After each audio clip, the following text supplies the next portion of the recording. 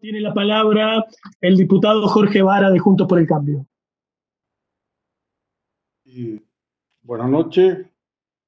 Eh, quiero, quiero referirme, y no, no hace falta repetir algunos datos eh, mencionados por algunos de los diputados que me precedieron en la palabra en cuanto a los avances en la multiplicación por cuatro de la, cuatro, el acceso a 4G que, permite de, traslado de información a partir de, de, los sistemas, eh, tampoco la multiplicación por 5 de los kilómetros de fibra óptica, eh, la multiplicación por 10 de la cantidad de localidades alcanzadas, etcétera, etcétera. Y, yo representando una provincia del interior, el interior profundo, como es la provincia de Corrientes, somos testigos de nuestra actividad a través del interior. Que eso ha sido un avance fenomenal.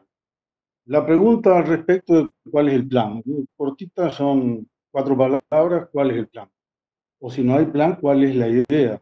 ¿Cuál es la idea respecto de continuar con esos avances? Que por supuesto parte de esos avances son obras del Estado y otras son utilización muy inteligente de líneas de fibra óptica utilizando hilos inutilizados, metiendo hilos en la fibra óptica de algunas de las empresas. Pero lo cierto es que los objetivos fueron alcanzados y fueron logrados. Y particularmente en provincias como la nuestra, una provincia típica del litoral, con una población rural significativa, eso es, fundamental y saber cuál, cuál es el plan.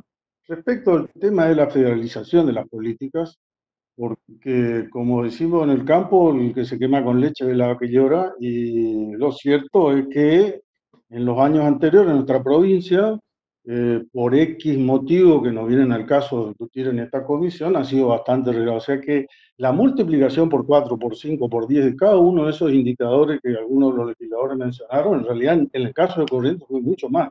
Fue por 15, por 20, 25, 30, porque prácticamente no se había hecho nada.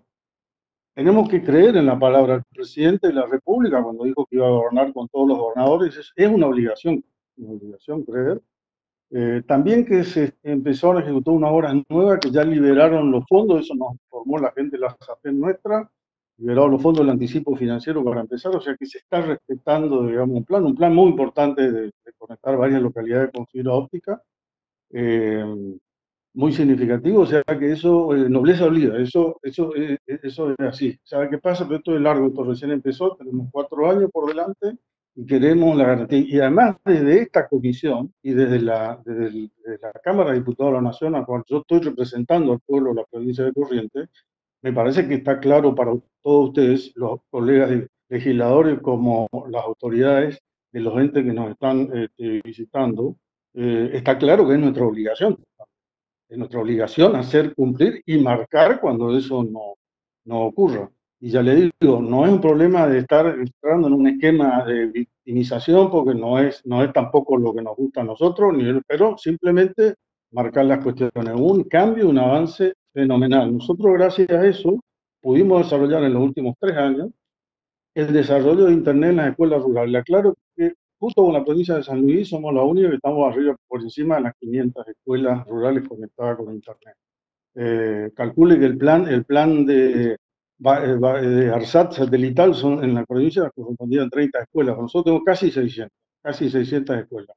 En realidad tenemos más que la provincia, la, provincia de San Luis. O sea que la provincia, cuando por, cambió radicalmente Tiempo, diputado. No, evoluciona al partido que gobierna la provincia hace 20 años, pero hubo un cambio radical en este aspecto. Pero esto para nosotros es fundamental marcar, porque fue fundamental también en la llegada de la conectividad al interior profundo, con una población rural, localidades chicas, y un interior además muy vasto, con muchas distancias, una provincia con una superficie importante. Y el otro tema vinculado al tema de, de, los ANR, de la ley esta del 1% de la facturación de, la, de, los servicios, fundamentalmente, insisto, o sea, repito, la aplicación federal para todas las provincias, que es lo que se hizo en estos últimos cuatro años, en lugar de acá, a todas era por igual, pero anteriormente eso en la región eran una sí, otra no. Acá fue todo parejo, me parece que eso sería fundamental también, no retroceder, no retroceder en esa cuestión. Nada más, muchas gracias.